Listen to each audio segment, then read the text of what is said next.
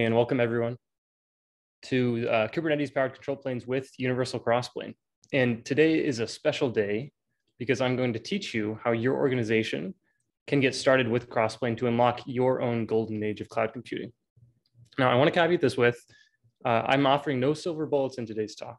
Uh, after all, the golden ages of antiquity did not just happen upon those civilizations. It took work for them to achieve that prosperity. But it was knowledge that set them down the path towards that prosperity. And Crossplane is going to do that for you. So with that being said, a little bit of a who am I before we dive into talking about Crossplane. I'm a product manager who started my career a little over five years ago, working at Microsoft on virtualization technologies, things like device virtualization and tech to power the foundations of the cloud with virtual machines at Microsoft with, with Azure. And I also got to work on the Windows subsystem for Linux, which runs on Hyper-V with the, our virtualization technology. And it's an awesome tool that lets Windows developers have an integrated Linux command line experience on Windows. From there, I transitioned to helping Windows Server customers migrate their existing app portfolios into Windows containers, uh, into the cloud on Kubernetes, to, to Azure Kubernetes Service specifically. And the goal there is to help organizations start to unlock the power of the cloud. And to start that, you need to get your stuff into the cloud. And so Windows containers was the, the technology to, to help do that. So now I have the privilege of working at Upbound on the company with uh, in the company that created Crossplane. And that's the focus of this talk is all about Crossplane. So let's get into it. Um, so before we talk about Crossplane, actually, let's talk a little bit about the cloud and let's take a survey of what it's done for us thus far. Now, I would argue that we're at the cusp of a golden age in cloud computing. Now more than ever, organizations have a wealth of options to choose from to build your services on top of, to accelerate your time to market, and to operate your software on a global stage. I mean, just think about it. I, I, picked just a couple of different services. We're not just talking about the, the big three public cloud providers of AWS, Azure, and GCP, but also things like you know, Cloudflare, Snowflake, Okta, Datadog, DigitalOcean. You could fill, fill uh, many slides with, with these different uh, icons for these companies that are providing cloud services. And the list goes on and on. And the goal um, with the cloud is, you know, it allows your organization to focus on building what matters most to your business and you let the cloud handle the rest, whether that's managing the underlying hardware because you're running on VMs or uh, moving up a, a rung, managing the underlying VMs because you're running serverless containers. The cloud helps you move up the stack and uh, you know manages underlying things that you don't need to worry about. So it helps you focus on building your secret sauce to make your business useful to customers, to add value to their lives, and and to um, to operate your business so thinking though of the large public cloud providers for a moment there's this long list of services that that they're providing and it grows day by day uh, and usually there's there's these three letter acronyms that that come along with it. And i think personally it can be painful to uh, to remember all these services to stitch them together into a single platform. It's tough to do. And so many organizations end up doubling down on well we're only going to be an aws shop or we're only going to be an azure shop and that's fine. But then you're missing out on all the extra value that's getting created across the industry and these, these different cloud services and providers. Now, there is commonality in services across the big three public cloud providers, um, but they excel in their own way. And, and so it would be great if you could go a la carte and choose which ones you want to have from across this list, inclusive of all these different cloud services. Um, but for a moment, let's talk about Kubernetes. I've got it highlighted on the slide right here, the different uh, Kubernetes managed services that you can use across the different clouds. Now, hopefully, uh, hopefully Kubernetes is not a new term for you. It's, it's taken the industry by storm several years ago, and um, the industry has really rallied around Kubernetes, and I think it's, it's, it's the adoption has exploded. Uh, it's transformed the way that apps are written and deployed. There's a massive uptake. And you can see this data from the CNCF from 2021 the adoption of Kubernetes either in production or going into production soon, uh, you know, across these different uh, regions around the globe. And so I think it's safe to say that, you know, Kubernetes is uh, not just a passing fad, it's here to stay. Um, there might be abstractions that build on top of Kubernetes eventually, but Kubernetes is uh, it's become a, a staple in how you uh, architect and run your applications at scale in the cloud. But is containers all that Kubernetes is good for? Is containers all that it's good for? Let's think about that for a moment, put pause on it, and we're going to come back to that in just a few minutes. Okay, so let's talk about building in the cloud. And just as a refresher, so we're all talking on the same language, an API. So what the cloud is built on. Um, clouds, much like anything else in software, abides by the software contract called an API. And so I went to Merriam-Webster. Here's the definition. It's a set of rules that allows programmers to develop software for a particular operating system without having to be completely familiar with that operating system.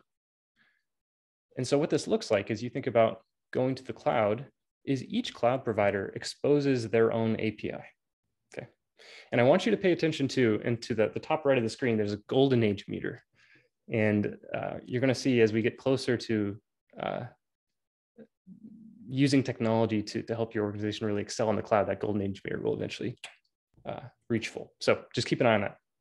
But for starters, this is how it looks. So AWS has its own API for interacting with the cloud and the various cloud services. Azure does as well. Google does. The other cloud services that you can go and consume, like Datadog, do as well. And that's that's a problem for you um, because if you want to use a service in that cloud provider, you have to go and talk to that API, but the API doesn't um, translate to the other clouds or the other providers. It's specific to that cloud. And so, okay, it's kind of a challenge. Now, CloudFormation came along and uh, for AWS, and it gave an easy way to model a collection of related AWS and third-party resources um, so that you can provision them quickly and consistently and manage them throughout their lifecycle by treating this infrastructure as code. Um, but CloudFormation is an AWS technology. It's pretty specific to AWS, and it's going to be difficult to, to manage, um, you know, different services outside of AWS because it's, it's an AWS technology. So the golden age meter, we're getting a little bit closer. We have this infrastructure as code technology now, this sort of paradigm that we can apply, but it's not going to it's not to scale across the different uh, cloud providers and platforms that we want to go and support. So fine, you can go to the different cloud equivalents. That's great. Doesn't really solve our problem of having a single coherent platform, but you are making progress toward the golden age. You've now got a infrastructure as code way to, to talk to these different cloud providers. So we're moving in the right direction, but there's still, still problems. And then Terraform uh, came on the scene, and with it, uh, you know, consolidates, and you can just run Terraform as this uh, single kind of entry point to then manage resources in these different cloud providers. And we're making great progress now toward the golden age. But there's a problem with Terraform, and there's a problem with other infrastructure as code technologies. And, um, and that would be that um, I think two things I want to call out. The first of all is that there's this idea of drift detection, which is if you go and Terraform apply something, it will go and it's a one-shot operation. It'll go spin up those resources in your cloud provider or cloud service, and then it's done. But what happens if someone comes along and changes a value because they they didn't know they shouldn't or something like that? You end up getting state that is uh, drifted from your original desired state. And there are stories across the industry where this has happened, and um, their environment you know runs away and kind of blows up. The second thing is thinking back to that kubernetes point earlier of all the great development and work that's going on the app development side with kubernetes.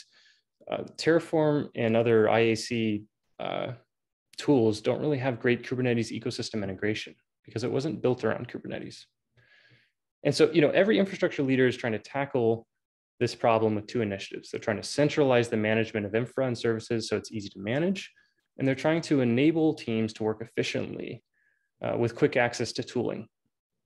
So IAC, GitOps, service catalogs, modernization, containerization, all of these things promise speed and control in your infrastructure, but they all fail to live up to the requirements of modern infrastructure. They're going to add drift, they're going to add sprawl, they're going to add inefficiency. So what happens is the promise of this golden age, have we really achieved it? Or have we descended into this uh, dark age of sorts where your SREs are functioning as a help desk? You know, they're putting out fires, they're man uh, managing developers and becoming frustrated by the lack of resources, time, and tools. Your software engineers are responsible for your apps and services, but they're frustrated by the red tape and the processes that they need to go through in order to ship their code to production. This is significantly slowed down time to deployment and therefore your ability to innovate, um, which is not good for your business. Whenever infrastructure requirements change, a laborious cycle of scoping and negotiation and compromise has to happen.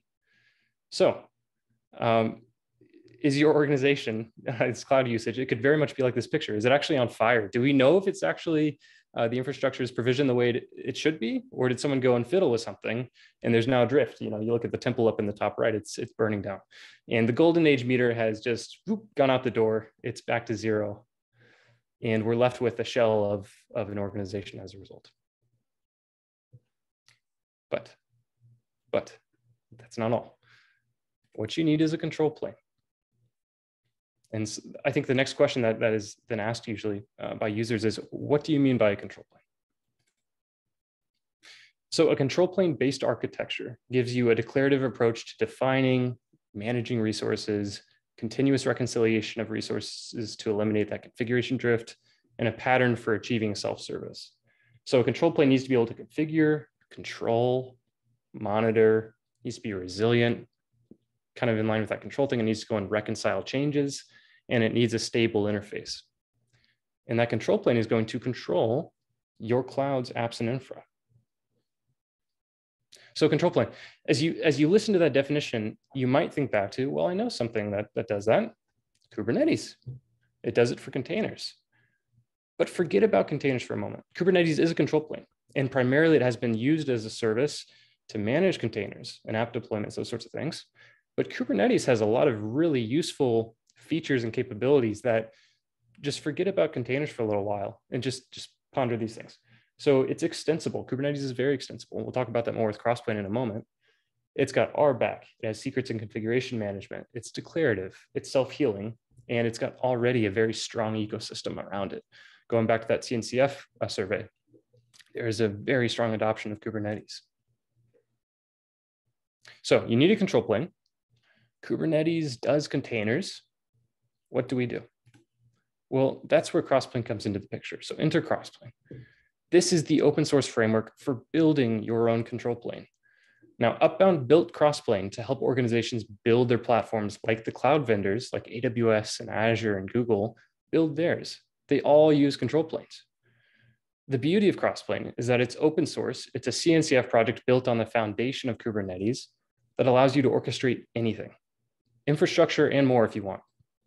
You can encapsulate policies, permissions, and other guardrails behind a custom API line to enable your, uh, your developers, your customers, to self-service without needing to become an infrastructure expert.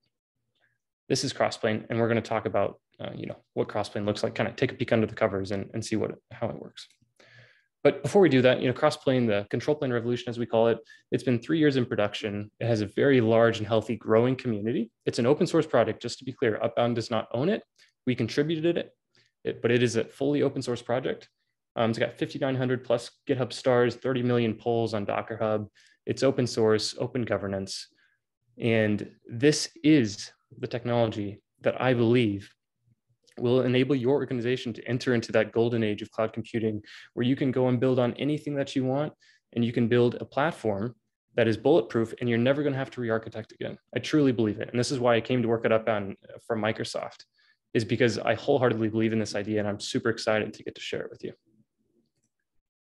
So uh, Crossplane, what is it? It's built on Kubernetes first and foremost, if you haven't figured that out yet. So we're taking Kubernetes and we're teaching it some new tricks. We're teaching it some awesome new tricks. Um, Kubernetes, rock solid container orchestrator. You know, I think we've already talked about that. So it's built on Kubernetes. Um, so it allows you to then to, to unify your infra and your app configuration plus deployment with a single toolchain and pipeline. So if you're already doing app development that's centralized around Kubernetes clusters, you can use the same toolchain, the same tools, the same ecosystem to solve things related to infrastructure. Crossplane is extensible by design, so you can tailor it to your needs. And we'll talk about that more in a moment, but just remember it's extensible, just like Kubernetes, Crossplane is extensible. And because it's built on Kubernetes, you get drift detection and reconciliation out of the just out of the box. It just works uh, works by default. So that um, pesky issue that you see with other IAC tools where you get this drift detection that can wreak havoc on your business, Crossplane solves that for you. So going back to a couple slides ago, we were talking about your organization and how you build on these different clouds. Um, this, this was the picture that I presented. How this changes with Crossplane, and we're going to see that golden age meter go to 100%, boom, is that Crossplane allows you to build your own API, a single platform that covers any cloud provider that you want, any cloud service that you want, all under one roof. And you get to tailor this API to your business needs. It's really powerful. I think it's, it's really, it's the, the big selling point of Crossplane. And so that is your cloud control plane with Crossplane, that piece right there. So let's talk a little bit more about what does it mean to get started with Crossplane. We'll look at a high level picture of how Crossplane operates and we'll talk through some of the key concepts. Okay, so the first and foremost, Crossplane must be installed into a Kubernetes cluster. Now, I think Kubernetes clusters have been commoditized these days. You can go and spin one up in your favorite public cloud.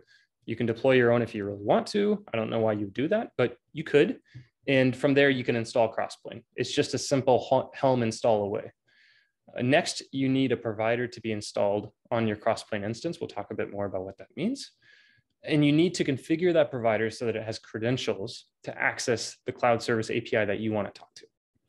And then from there, your control plane is ready to begin managing and reconciling resource requests. So um, just as an example on the slide, we've got AWS there that Crossplane can talk to. We also have Datadog. It doesn't have to be one of the big three public clouds. It can be any cloud service. So that's why you know Datadog is just a stand-in. It could be anything else. Okay, so, so that is Crossplane in a nutshell. Now let's talk about a provider. Let's pick it apart.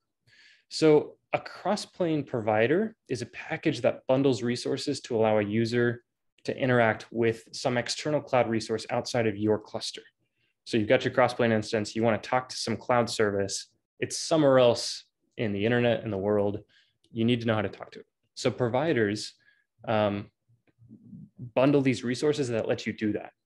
Now, most of the Crossplane providers are created and contributed by the Crossplane community. If there's a provider that's missing, you can go and build it yourself. I mean, it's, it's extensible. You can easily go and build it yourself. And um, and to install it onto your, your Crossplane instance, it's just a simple kubectl apply this provider YAML, and it gets, it gets laid down on your system. And so what this looks like is you have this sort of diagram right here.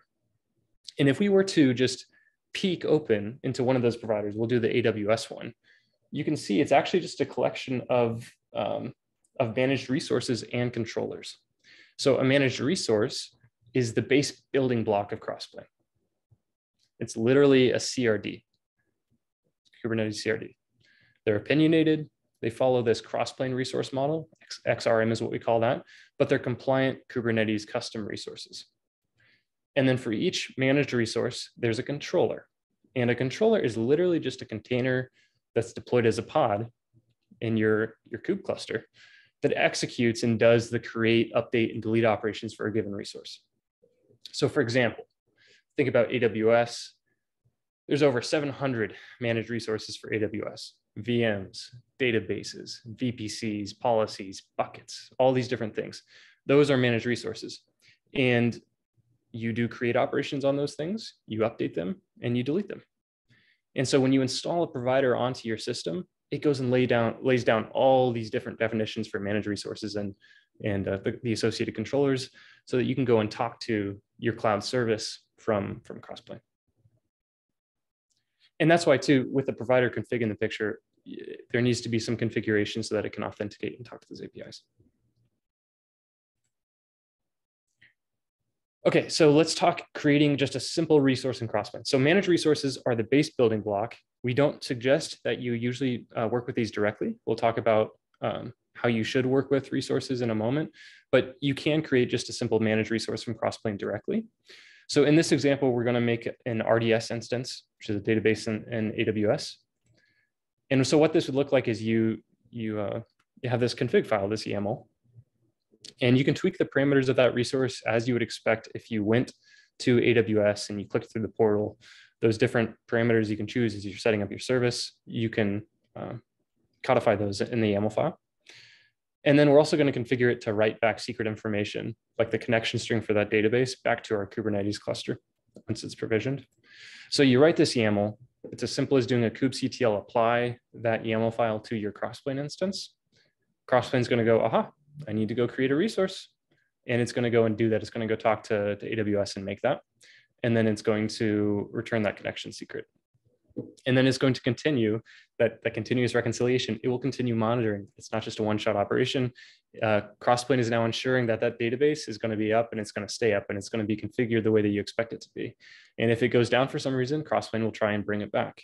If you went into the AWS portal, portal manually and you tried to delete it, Crossplane is going to go, no, no, I'm going to bring that back for you. So it's pretty cool. And then with the app secret, um, or the Kubernetes secret, now that that's written back to your Kubernetes cluster, well, what can you do with it? You can use it and feed it to your app and then use that as the, the connection secret to, to talk to your database. It's pretty cool. So more on that in just a minute. So that's, that's a managed resource. That's a simple flow for how to go and deploy a managed resource um, on a crossplane control plane. But the power of crossplane really comes in when we start to talk about composite resources.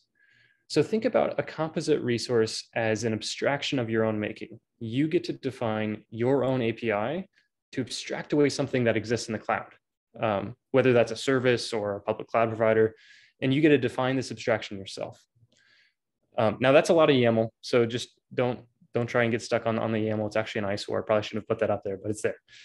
What you can do then is you can create an instance of this uh, composite resource and, uh, and then connect it back.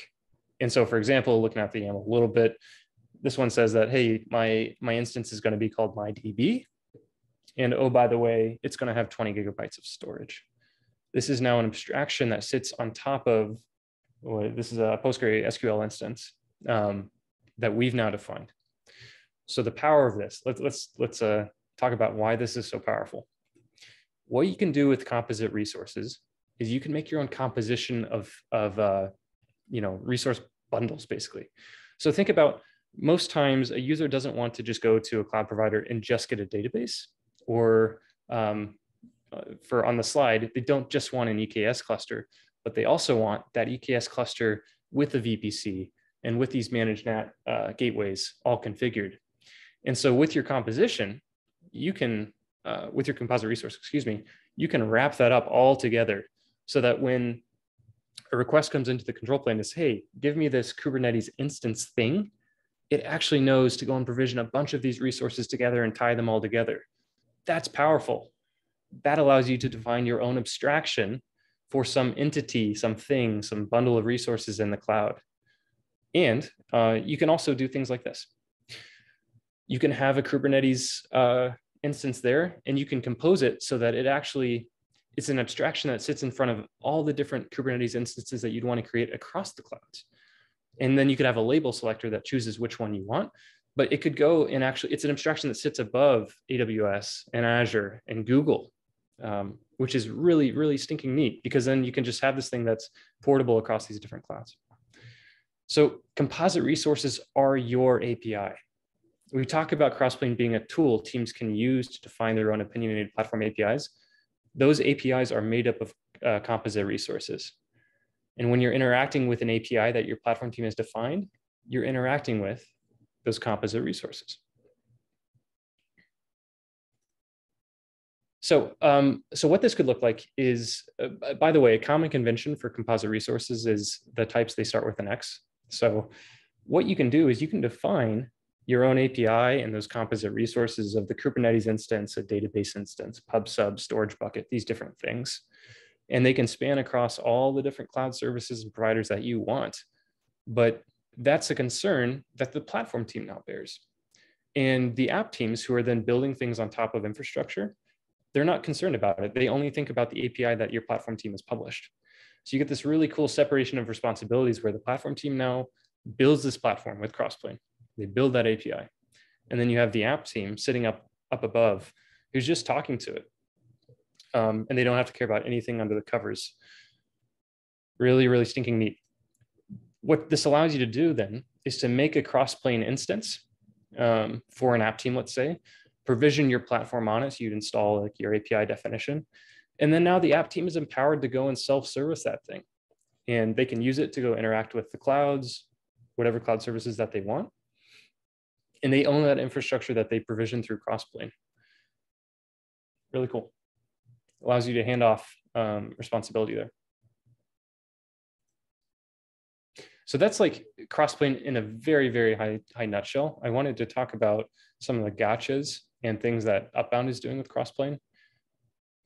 Uh, the first thing that we get asked is um, platform architecture with Crossplane.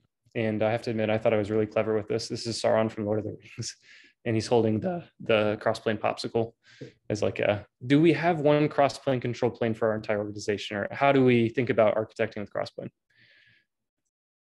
Um, so there's a couple different approaches, and I'm going to say that there's no uh, single right way to do this. They each have their own pros and cons. So if you were to just say, hey, we want one control plane for our entire organization, um, it's good because then you're going to man, uh, minimize the, the management overhead of having all these different control planes running. But the bad, the downside is that it does not scale at all for bigger organizations. So this is likely only something for um, small organizations to, to run with. Uh, the isolation boundary in this case, if you have multiple teams interacting with this crossplane, would be at the Kubernetes namespace level, um, which, you know, is good, but I think there's stronger isolation to be had by uh, separating into separate control planes. We also see crossplane uh, instances spun up on like a per environment basis. So you'd have like one control plane talking to your dev environment, one to staging, one to production. And um, there's a little bit more control plane sprawl, but then you can also tailor the API definitions that you're publishing for each control plane to according to the environment. Um, so that's that's pretty cool. And then all members of your organization like have the ability to manage resources within that the environment that that uh, control plane is managing. So that's another way to do it. And the third way to do it, I think this is actually the one that Upbound would suggest, is that you have one control plane per team.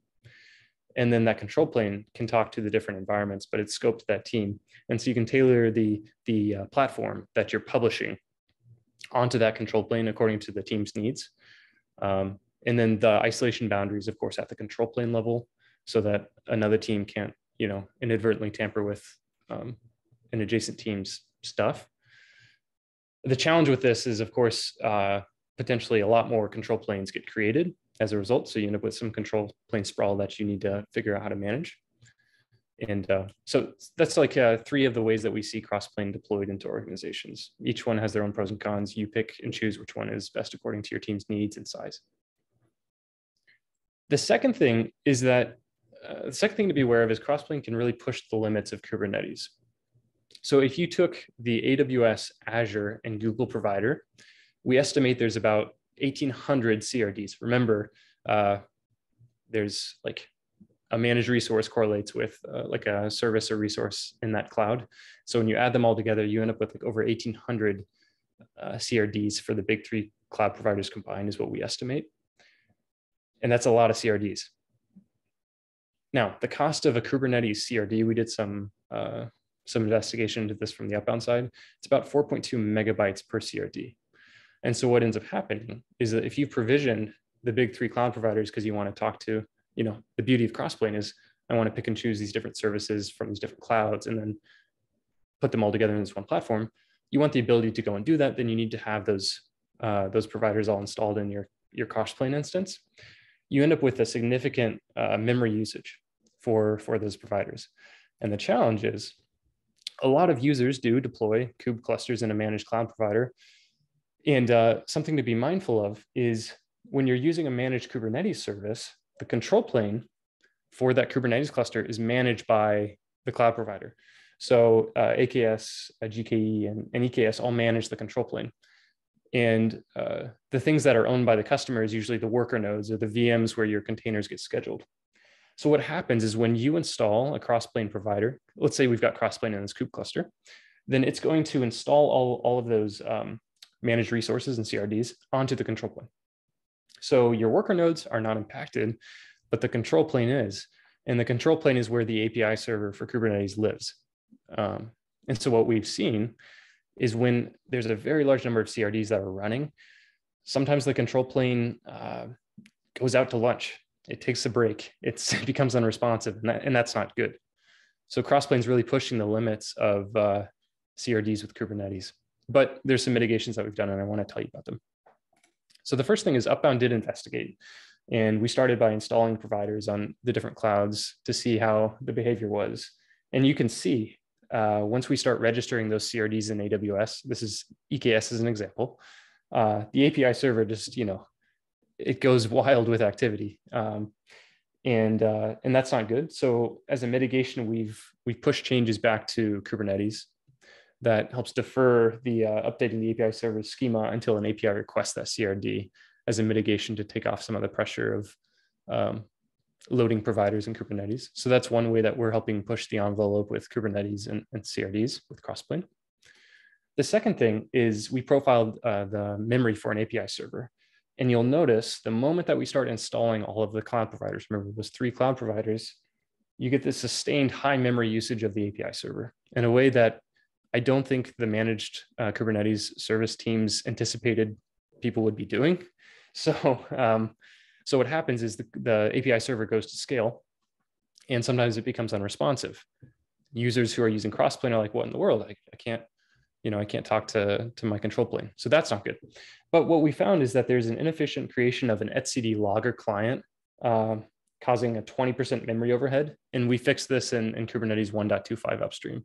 So starting uh, with Kubernetes 1.25, if you go to a managed service, as long as it's that version or later, you'll get this benefit of uh, reduced memory overhead for installing a lot of CRDs and your um, the reliability of your API server should be uh, much better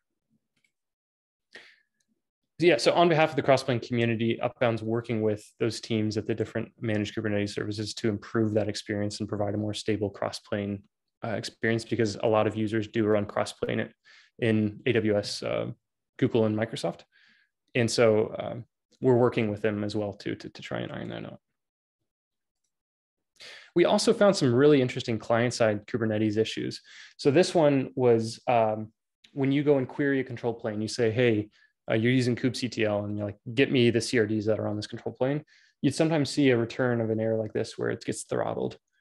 And uh, we pushed some design changes or we pushed some code changes into Kubernetes with consensus from the community to up the, the rate limit so that this is no longer um, seen. And it's, uh, it's for Kubernetes 1.25 and later. So that's another example where we're helping push Kubernetes on to be better and better and then we also discovered on Mac OS, there was an issue where um, you do the same thing, it would take like a really long time to return. And it ended up being a, a cache validation issue uh, specific to, to Mac. Um, and, uh, you know, we improved that by 25 times faster now. So that, that problem should be resolved too. Um, so that's that's the end of the, the CRD issue. So so the net net there is um, CRDs is definitely Crossplane is pushing the envelope with with Kubernetes, um, but Upbound and, and, the Crossplane community are leading the way in in in building Kubernetes better so that that issue does not um, impact you. And also, I do want to call out this is only for circumstances where someone has deployed the three big cloud providers and they're running at 1800 CRDs. Um, if you're not doing that, then you're probably safe from seeing this happen in a managed Kubernetes service on the cloud. And uh, and if you're running your own Kubernetes cluster, this is this issue doesn't even apply to you because you control the control plane at that point, and you can set it appropriately to uh, to be backed by sufficient resources, so it doesn't it doesn't uh, blow up when you try and install a lot of CRDs. Okay, um, the third thing to be aware of with Crossplane is that it does involve writing a lot of YAML, but the mitigation here is, and the beauty of Crossplane again is because it's um, it's this thing that's on top of Kubernetes. You can use the Kubernetes ecosystem to help solve these problems. So you can use CUE, you can use Kustomize these sorts of things. And that applies for, for any other issue with Crossplane. If you think about uh, GitOps integration, you can use Argo. Um, if you want a policy engine, you can use Kyverno or OPA, those sorts of things. That's the beauty of Crossplane is it sits in this Kubernetes ecosystem. And when there's advancements made there for Kubernetes generally, oftentimes it accrues right back to Crossplane. And this is why, thinking back to this idea of unlocking this golden age and building a platform that's going to, to withstand the sands of time, this is why Crossplane is so great. It's built on top of Kubernetes. Kubernetes isn't going anywhere. It's going to be a rock solid foundation to build uh, um, on top of. Okay, and then the fourth thing to call out with Crossplane is um, it is growing still. I mean, it's it's a pretty young project. Uh, it's been in production for a couple of years, but I would consider it to be still the new kid on the block in comparison to some of the other IAC tooling that that exists on the on the market. And there's still room to mature in terms of like resource coverage and provider coverage. So the mitigation here is, you know, it's an open source project. So I want to, uh, you know, encourage you that you can help contribute to this uh, this technology too. You can go and build your own provider. It's not that hard. There's documentation that we have on the Crossplane docs um, that will tell you how to do it. Or uh, if uh, if you have a commercial need, you can reach out to Upbound to learn about other options. And I'll just quickly touch on that one. Is uh, what Upbound is doing is in addition to the community providers that exist and uh, they're they're owned by the community, Upbound offers official providers, which are closed source, but they're production backed by Upbound, and they offer a full API coverage for um, right now. We're focusing on AWS, GCP, and Azure, and there's also an SLA for when new services get integrated. So something to think about as you go and build on Crossplane is if you need a phone to pick up and call someone for these providers, Upbound can be that for you if you need it to be. Or you can go and build your own provider. That's that's totally an option, but it's there for those who who want that uh, the assurance and uh, don't want to go build the provider themselves. Upbound offers that. And with that too, uh, Upbound has this thing called the universal crossplane. And so thinking back to the beginning of the talk, uh, Universal Crossplane was the title. UXP, as we call it, it's a turnkey experience for customers to go and build, deploy, and manage, and secure their own control planes.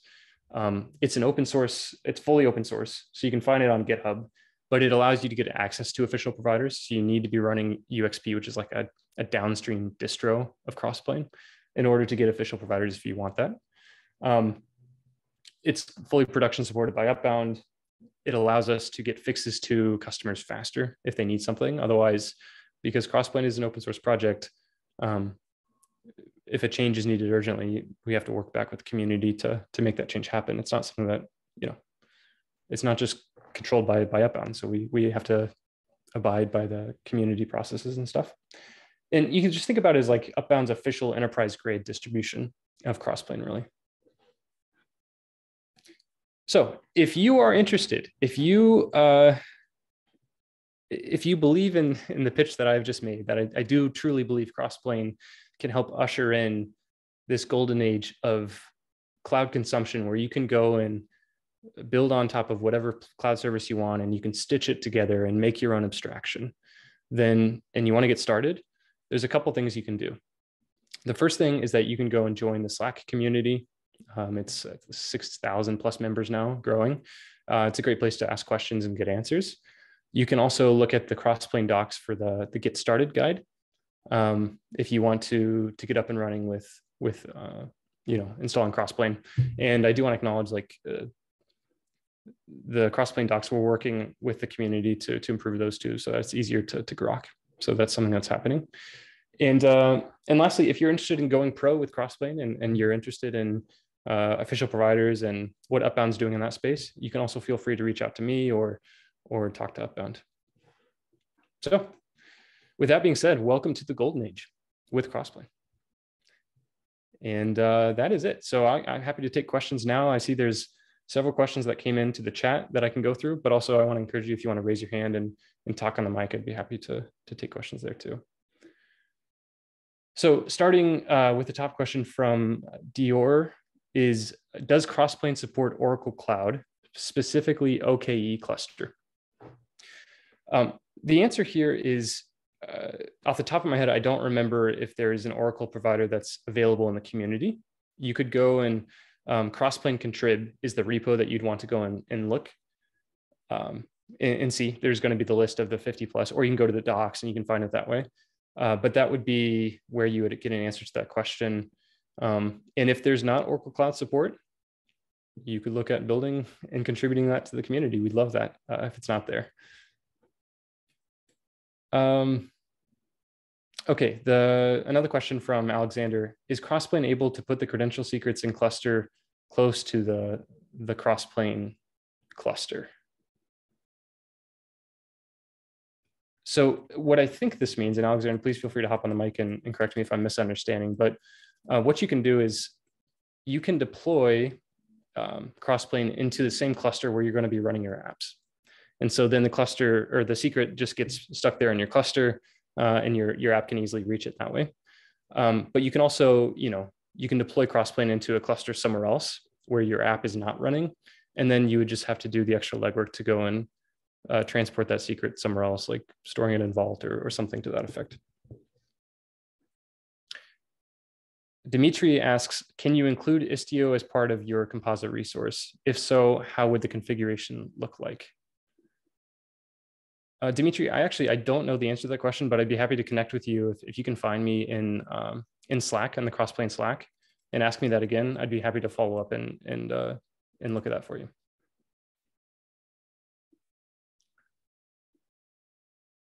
Cool. Uh, Raghavender asks, CRDs live on cross Crossplane providers, where in any case, they will need to live on resource providers too. So the when you install a, a, provider, it's that package that that bundles up all of those managed resources, which under the covers are a type of like CRD. Um, will they need to live on resource providers too? I I'm not connecting the dots with with what you mean by that. Um, if you'd like to hop on the mic, though, I'm happy to, to clarify that for you. Um, providers have to be installed on a control plane. That's how you talk to the different cloud services. Uh, Gerald asks, you mentioned Crossplane managed resources for the big three clouds. Can you give other examples of interesting providers? Uh, yeah, so there's like provider Kafka is one, provider Datadog is another. You can actually use provider Kubernetes to go and uh, talk to the Kubernetes API to do Kubernetes specific things. There's, I think, just right now over 50 different providers as well too. Um, I think DigitalOcean might be one, but yeah. I hear somebody on the mic. Hi, Craig. Yeah. So uh, yeah, this is Raghavender. So uh, yeah, maybe I will rephrase the question differently. Uh, so the thing is, uh, on the uh, Crossplane, we just create those resources definitions and uh, respectively, as you said, those replication, uh, I mean, the controllers also would be created. And uh, so we will have the resources created and the resources live on those uh, uh, cloud providers. Uh, my question was, do we have to have some of those resources or, you know, the monitoring parts or metric, yeah, metric parts, if we have anything to be created on those resource providers also if there is any need to bring the data or something like that. So that is what the question is around. So we we create the customer resources definition, and those mm-hmm. resources are created. So along with those resources, do we in any case need to deploy our resources to pull the data to out of the metrics or tracing or or anything else? Does that work like that, or it is stay away from all those uh, cloud provider resources? That's what the question is. Okay. Um, I, sorry, I'm still not quite following. Are you asking about uh, how do you monitor and get like logs and telemetry for the different CRDs that you're or the different managed resources that you are building yourself? Yeah. Uh, uh so like, you know, uh, with the example that you said, RDS, I'm, I'm creating an RDS uh, as a resources and, and that is up and running. So RDS uh, can have so many resource metrics could be available over there. So if I want to bring that from there, I just still go with the same resource definitions on my side and then pull those data or do I have to oh, have the pods deployed on those cloud providers as such, you know, uh, and yeah, next to R&D, uh, you know, where I deploy a pod. So that can run the data and pull the data and then give it to me. Is it something like that? Or no, uh, it's, it's on my control plane and I reach out to those through SDKs or APIs alone yeah. for me. Right. So, so, the controllers should be emitting um, events is one way to, to do it themselves, the controllers associated with that uh, CRD. Um, but as well too, if there's like a, an additional monitoring service that you wanted to use in a cloud provider, you could then use Crossplane to to talk to it to, to go and do stuff. Oh, I see. Okay. Well, yep. uh, so we don't need to deploy anything on those providers resources. Fine. Right. Yeah, I got it. Thanks. Yeah. Cool. Um, Alexander is asking, is Crossplane intended to manage infrastructure resources only, or can I also combine infrastructure and application deployment together, like we can do with AWS CDK? Example, can I deploy multiple Kubernetes clusters across different cloud providers and then install the same application on those clusters via Crossplane? Okay, so to the general question of bundling infra and apps together, um, composite resources are, you can, you can build your own abstraction to do this. Admittedly, it is a little bit klutzy. It takes a lot of um, a lot of writing and copy pasting. Um, you could also, though, look at bundling things like uh, plus crossplane is something that, that you could do too to address that sort of concern. So the short answer is yes, composite resources because they are um, there's a lot you can do with them. You can do that, but it, it does take a lot of a lot of work and that's I think a gap that um, we at Upbound acknowledge. Uh, Abhishek, you have your hand up.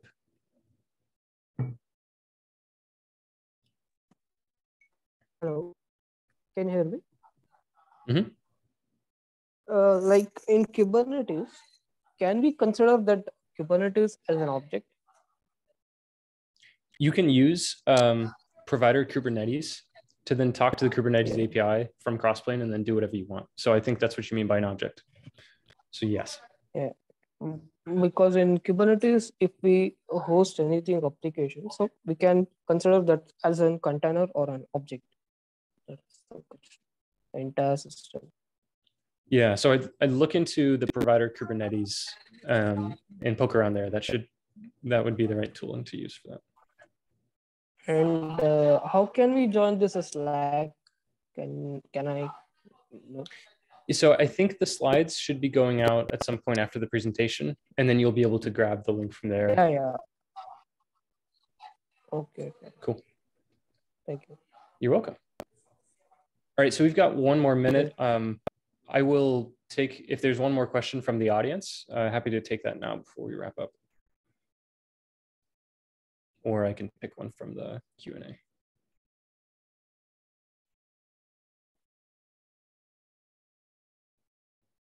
Okay, I will take one more from the Q&A. And I think I'm going to go with Dior asks another question. Crossplane may throttle cloud provider APIs. Is there an option to set pull frequency? So the answer is yes, you can. Uh, by default, a controller is set to um, every 20 seconds is when it, it does a polling and you can go in and customize that and set it to whatever um, whatever value you want. And I think you do that within a provider config. I'd have to double check, but it is on the Crossplane docs. Um, and if you want to ping me afterwards on Slack, I'm happy to, to find that for you and show you specifically. Cool. Okay, I think that's all. Thank you so much, Craig, for your time today. And thank you everyone for joining us. As a reminder, this recording will be on the Linux Foundation YouTube page later today. We hope you join us for future webinars and have a wonderful day.